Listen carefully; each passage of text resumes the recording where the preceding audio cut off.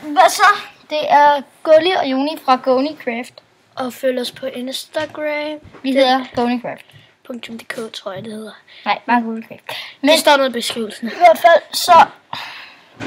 I hvert fald så... Det er det vores intro. Og ja, der er allerede lagt en video ud. Og det med ham der, der var jeg desværre ikke. Der var jeg, der var jeg derhjemme. Og vi er henne hos ham. Og jeg skal ingenting. Jeg, Vi skal lige, lave et eller andet noget video og noget. jeg tror, vi går til Netto og uploader en volley. Skal vi ikke det? Øh, jo, men husk at kigge derop, Jonas.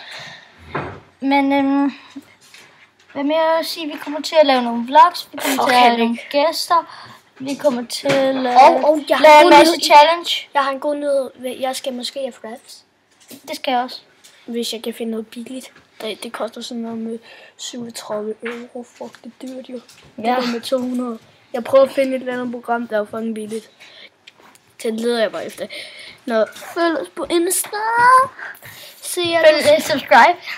Like, at subscribe. Og Nej, det er måske lidt mindre meget om Gingerfred, som vi klart kan anbefale.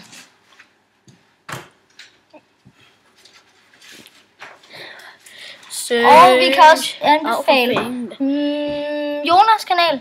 Den står noget i beskrivelsen. Søg. Ses.